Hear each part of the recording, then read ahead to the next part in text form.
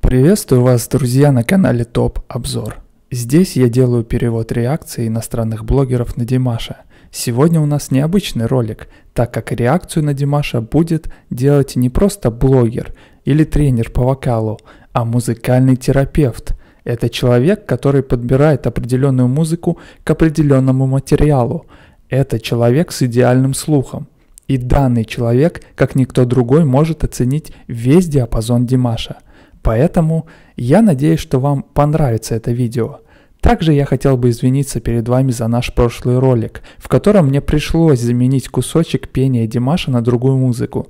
Мне пришлось это сделать из-за того, что данное видео хотели удалить с ютуба. У меня был выбор либо полностью удалять ролик, либо полностью удалить пение Димаша, либо заменить часть пения Димаша на другую музыку. И я решил, что лучше вы будете видеть реакцию красотки, но не слышать голос певца на одну минуту, чем вообще не видеть и не слышать данную реакцию. Надеюсь на ваше понимание. Приятного просмотра, друзья. Привет, друзья!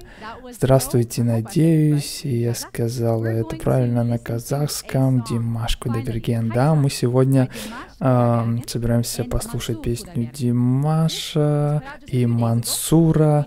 Это выпущено всего несколько дней назад, и я уже реагировала на некоторые из его работ и была поражена. И сегодня живое выступление. Мансур это его брат Абиль Мансур. Итак, живая записанная версия песни «О мир». Я слежу за субтитрами и с нетерпением жду возможности уже углубиться в этот прекрасный мир голоса Димаша. Так, Мансур это его брат, правильно? У него такая талантливая семья, акустическая гитара, я вижу, фортепиано. өмір күндер менен күндер жалғасқан өмір. Мұң менен шаттық алмасқан саған болып қалған өмір. Сүйіктетіп сүюді үйреткен көңіл. Кейде неліктен сырлары көп жалған өмір саған қоштарман самға бош ақ бұлттай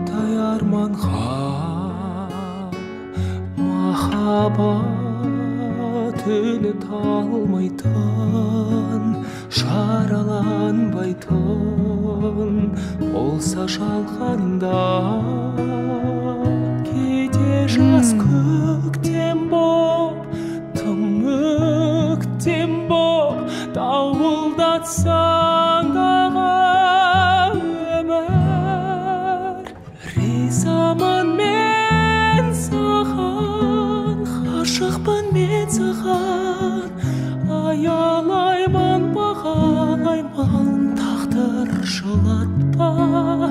арманның жолында мені қолдап өмір құлатпа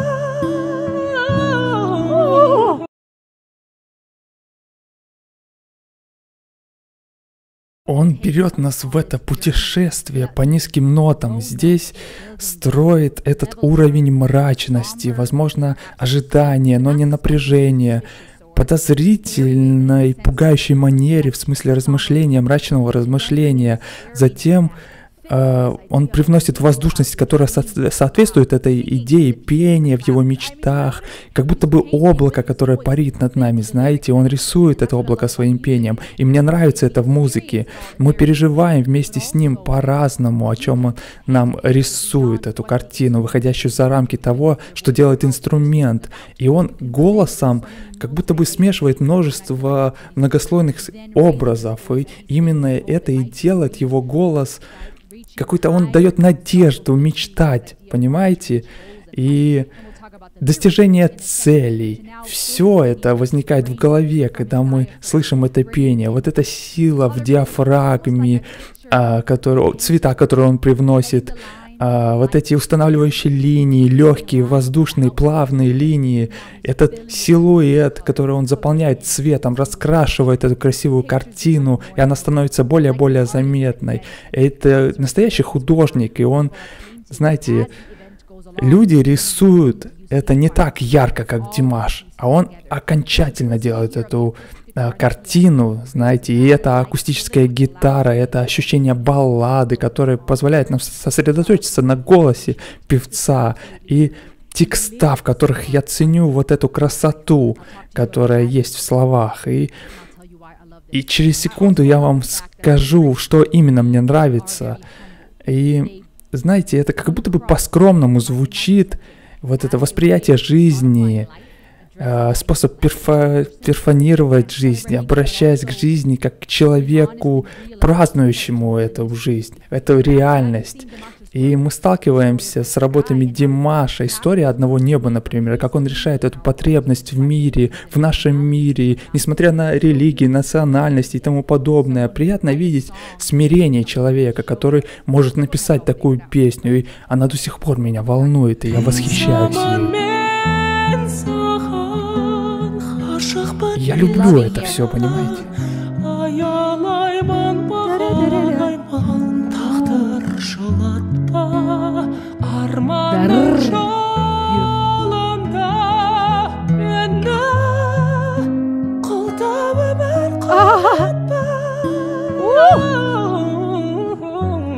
Здесь, так, мне нужно послушать это еще раз. Вы только что слышали, как он это сделал?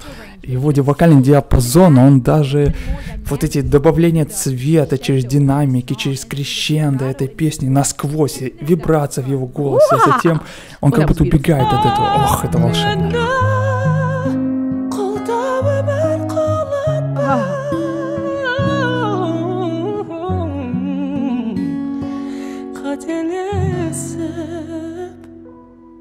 өкіндіріп кешірім сұратпа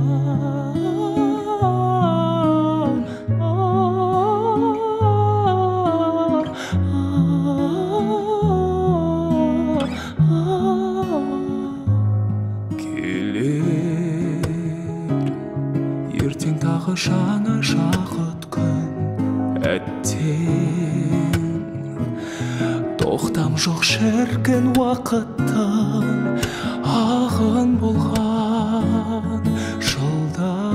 диапазон просто сумасшедший.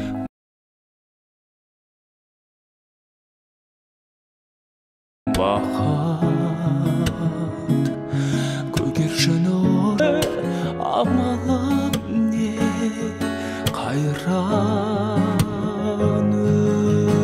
өмір аққараалмасқан пахталар басқан ашылар парақтар сапарлас дос табыстырған қош айтыстырған өмір жаратқан.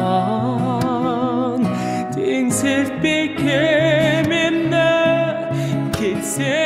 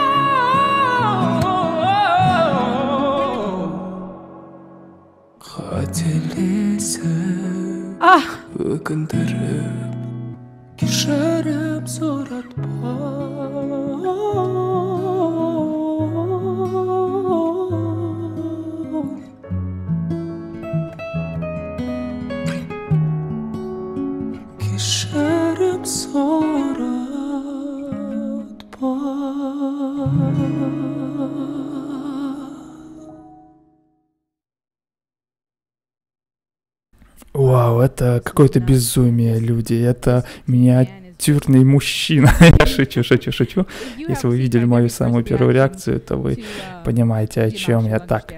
Эм, вы знаете, как будто бы Ладно, я не буду вам рассказывать эту шутку, ладно, ничего страшного.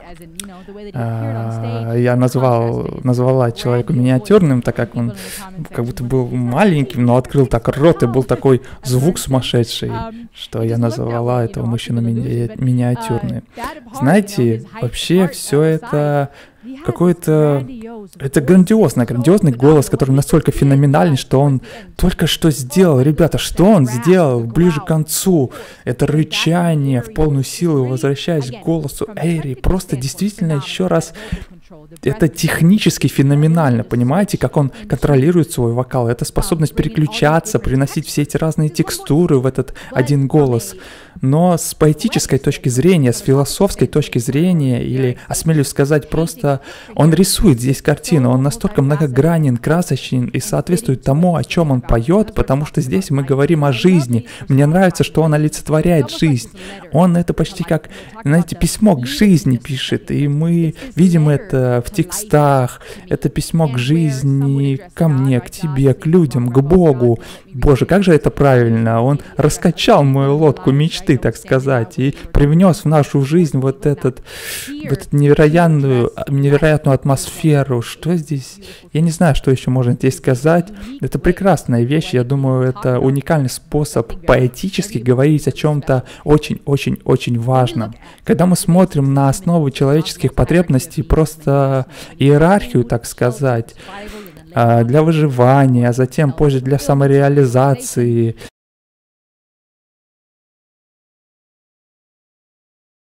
Это один из способов взглянуть на то, что люди жаждут. Но чтобы я пошла дальше, осмелись сказать глубже, возможно, я люблю экзоциальную терапию, да, теории. И это очень сложная, многогранная тема, но Подобные темы позволяют нам увидеть больше, и это особенная терапия. А в целом, потребность в отношениях, мы не учебники, да. А, это нужна какая-то психологическая модель, чтобы вам объяснить правильные диагнозы, которые могут быть вам а, полезны в той или иной проблеме. А, это, так скажем, лекарство для исцеления. Вот.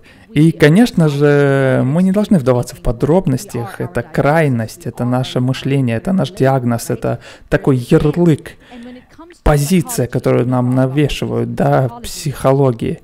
А, но все, что касается мировой музыки, аути аутентичности и между терапевтом и, терапевтом и людьми, мы разделены экраном, но данную реакцию мы можем почувствовать, понять, принять.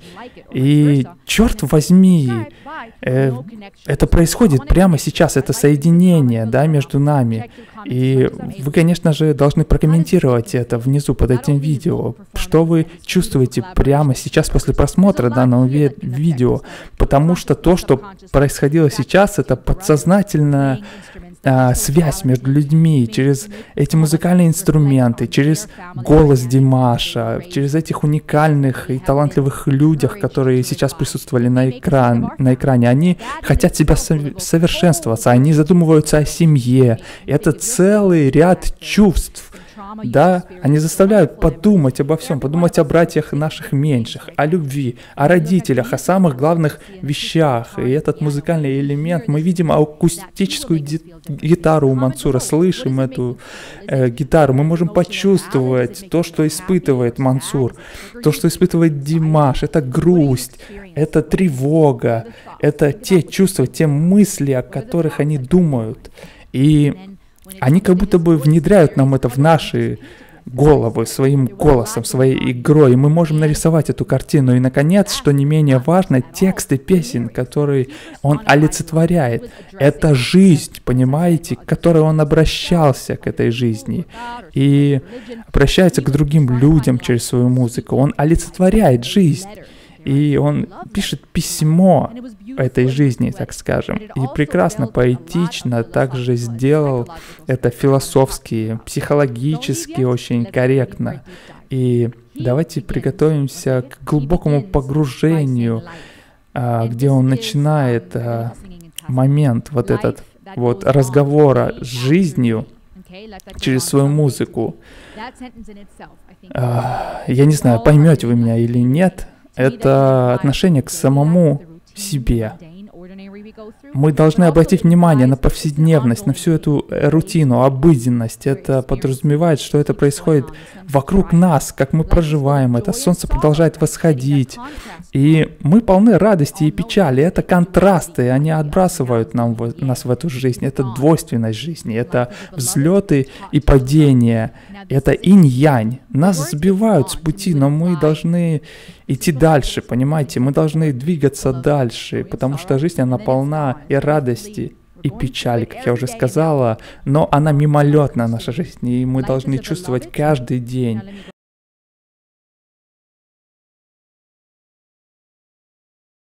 перед тем, как подойдем к концу нашей жизни. И эти прекрасные субтитры, которые здесь были, э, это песня о жизни, о том, что она проходит, о том, что она быстротечна, о том, что э, порой она становится просто миражом, иллюзией, если жизнь пошла не так, как вы хотите, да.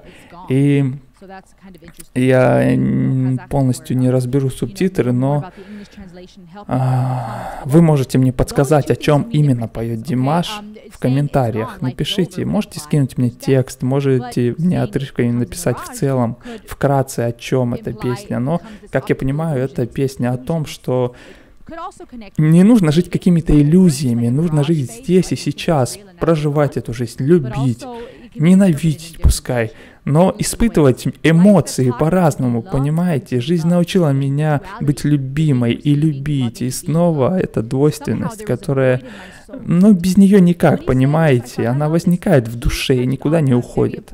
И Димаш затронул очень важную тему своей песни «История одного неба», когда дело доходит до, просто, до простой необходимости мира, не разделения между нациями и людьми, а простого мира, понимаете? Это как будто бы загадка, это загадка пустоты какой-то, но мы а, должны прислушиваться к, тал- к талантливым и опытным людям. Они подсказывают о том, что говорит им сердце, и мы должны прислушиваться к этому. И Димаш, он действительно прикас... Прикасается к элементарному, но а, рассказывает нам от, об этой страсти к жизни, об этой любви, увлечении, одержимости, зависимости, в которой мы находимся. Мы можем в ней мечтать, летать в облаках, чувствовать себя неуязвимым или уязвимым, прикасаться к прекрасному. И эта красивая жизнь, она похожа на лето, на весну или даже на властную бурю, которая повисла над нами. Но через пение мы можем понять, что Димаш влюблен в эту жизнь, и он хочет, чтобы и мы также были влюблены, и не разрушали свое завтра, а ждали это завтра, ценили и сегодня, и завтра, и годы могут пролететь мимолетно, и мы можем просто не заметить их, но мы должны что-то оставить в этом мире, понимаете, за собой. И белое, оно сменяет на черное. Это поэтический способ рассказа о жизни. Всегда был и будет. И Димаш, он э, показывает нам, что не нужно бояться смерти. Не нужно об этом думать. Нужно жить, друзья. Просто живите. Это не последняя страница вашей книги. Мы не знаем, что и когда случится, как загадано свыше, но Положа руку на сердце, мы должны жить, мы должны работать, мы должны размышлять, мечтать, любить, быть благодарны не только к себе, но и к окружающим, испытывать опыты, разочарования и поощрять, сожалеть и петь. Конечно, петь прекрасные песни, слушать прекрасную песню о жизни, о преданности, о любви и беречь это чувство оно будет актуально везде, всегда и всюду, друзья. Прокомментируйте это видео, если вам действительно понравилось. Если вам понравилась моя реакция, как я реагирую на вашего любимого певца и теперь на моего любимого певца, и обязательно посмотрите историю одного неба, потому что я была вдохли... вдохновлена просто этой работой, это невероятная работа.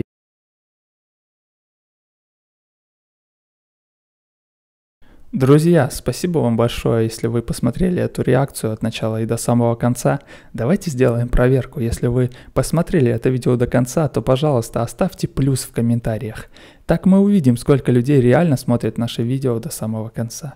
Я жду ваш лайк и мнение в комментариях. Самое главное, не забудьте подписаться на мой канал, чтобы больше никогда не пропускать наши свежие реакции. Димаша, спасибо вам огромное и храни вас Бог.